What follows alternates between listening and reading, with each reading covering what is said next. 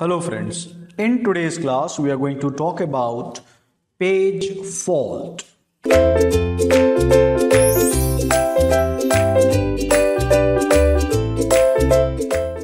Welcome here and we are talking about uh, page fault which is an event okay which is an event results in when uh, it results when um, when the when we access a page that is not bought into the into memory okay? So when we are trying to access because we have just learned the demand paging okay? Demand paging and as and when required huh, that is the term that i generally use for this demand paging. And in that uh, we are trying to access a page that is not bought into memory not in memory and that may result in what? Page fault. Okay? So and uh, that uh, that page is marked at invalid cause a page fault trap. Okay? Invalid causes and uh, it page fault trap.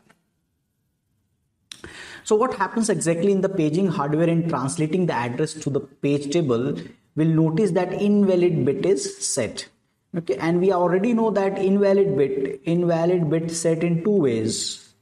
Invalid bit can be set in two ways. Uh, first is not in logical address space not in logical address space and uh, second is uh, is is not in memory. Okay so this one is not in memory. Okay this is not in logical address this is not in memory causing a trap to the operating system okay? And the trap is a result of operating system's failure to bring the desired page into the memory okay? So it is the failure of what? Operating system. And why it is failing here? Because it want to minimize uh, minimize um, okay minimize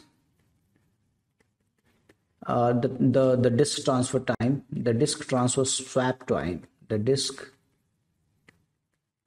transfer swap time. So this it want to minimize okay? This transfer swap time and also the overheads that it want to minimize okay? So that way. Now uh, what is the exact process of handling the page fault now what should be the process? So what we need to do here in this case is we have to go one one after another method that first we need to do. We we check uh, we check an internal table which is uh, usually kept the process control block uh, for the process to determine the reference page was a valid or invalid memory access. Okay so we will first check the uh, the internal table which is in PCB process control block whether the reference was a valid or invalid. Okay if the reference was invalid then we terminate the process and that is important.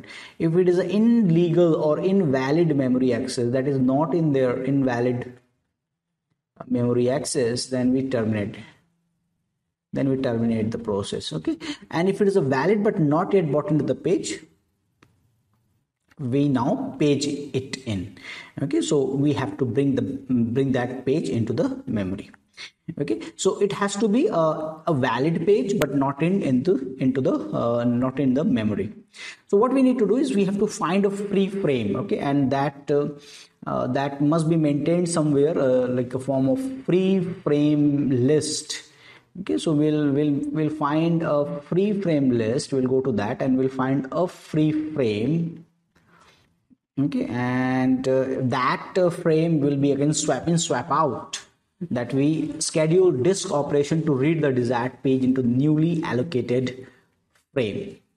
Uh, after that what we'll do is we modify the internal table kept for the process table okay? Now this these steps are uh, it's not uh, very in detail here in this case but you understand that these are the these are the consequence that happens okay? So we modify the internal table with the process kept uh, and the page table. Uh, table kept with the process uh, and the page table to indicate the page is now in memory. We restart the instruction that was interrupted okay by the illegal address trap. Okay, so now that is the that is the way you know page fault is handled. That uh, we find uh, that invalid bit is set, failure to bring the mm, page into the memory, and uh, the reference page was valid or invalid. If the reference page was invalid, we terminate the process if it is not very important then find a free frame. And we schedule a disk operation for the desired frame a newly allocated frame. When the disk uh, read is complete we modify the internal table and then we restart the process. Okay? So that is the how it should be handled. And these are the this is the referenced.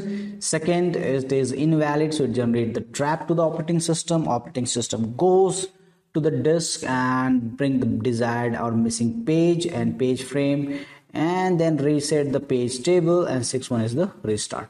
So very beautifully diagrammatically you'll understand that how to handle the page fault in this in this situation. Now pure demand paging uh, pure demand paging is is a situation where we could uh, uh, that you start the process with no page. Initially we are what we are doing in demand paging that initially we are bring we bring we bought some page.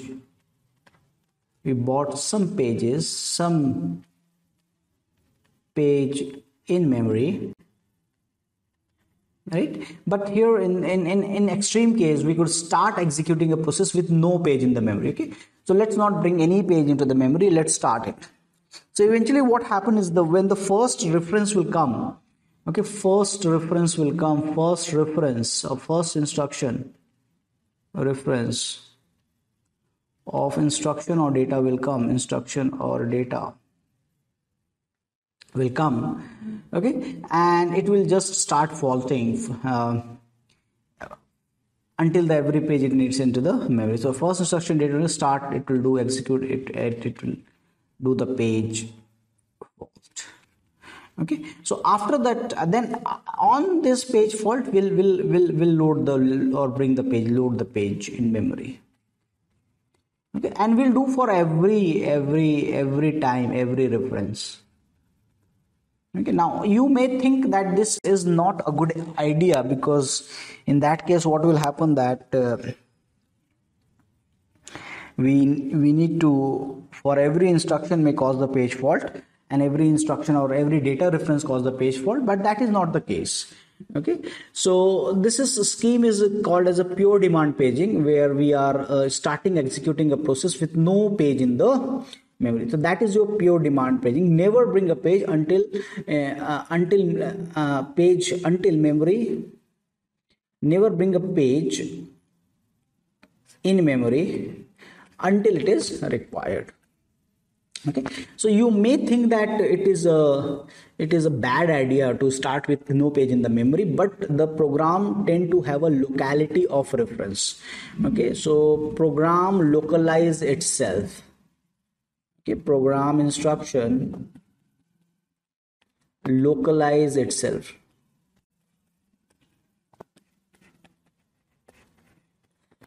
okay and that means uh, we are we are having what in this case program localize instruction localize itself means if you are executing i1 high chance that i2 will be there and i3 will be there. so maybe for this instruction i1 we will get the page fault but because we are bringing the entire page not one instruction after another for the remaining instruction there will be no page fault okay? So it is not the case that it is entirely very worst or bad idea to start with uh, no page in the memory. It will be not worst uh, as we think because of locality of uh, reference. So hardware support is the same that valid invalid is there that, that is required for the paging. Okay so that is uh, something that is related with the uh, that is something that is called as a page fault. And in page fault what we have learned the new topic is the demand paging and pure demand paging okay? Pure demand paging.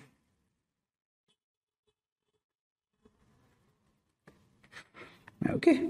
So i hope you understand this entire discussion. Very simple and elegant uh, idea behind this and valid invalid is highly used. And this diagram is something that covers all okay?